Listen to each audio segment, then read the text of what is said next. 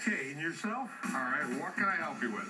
I have something that is very rare. It is a 1980s model of a Brother word processor. I never used one of these. I wouldn't even know how to use it today.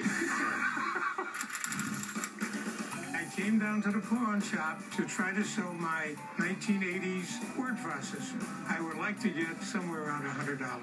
I'd like to sell it because I no longer have any use for it. Where did you get this thing? I bought it new. What year did you buy it? About 84. Why didn't you buy a computer? They didn't have them yet. Oh, yeah, in 84, they had plenty of computers.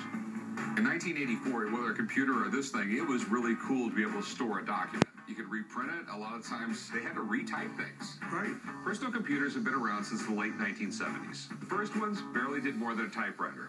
Why don't we try it and see if you like it? I'd just like to see if the thing boots up. Switch on the side. Okay, here we go. Start typing text. Press file when finished. It's on though.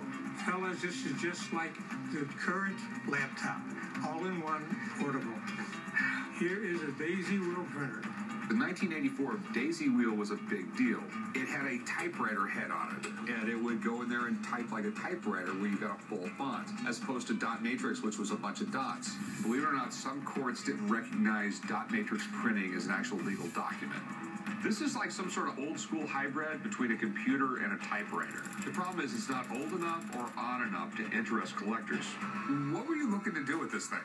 I was looking to sell it. How much did you want for it? Well, I paid six for it. Uh huh. I would like to get somewhere in the neighborhood of two. I would give you 10 bucks for it. I mean, you know, this thing was antiquated when it was sold. Remember, the Macintosh came out in 85. It's old, but it's not old enough.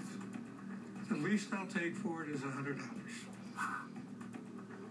I'll tell you what, I'll give you 20 bucks for it so you don't have to tote it home. Uh,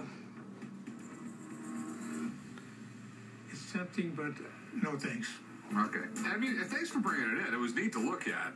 Thank you, gentlemen. When the fellas looked at it, it was obvious that they just had no use for it. They knew what they were doing and they had a right to it because it's their money.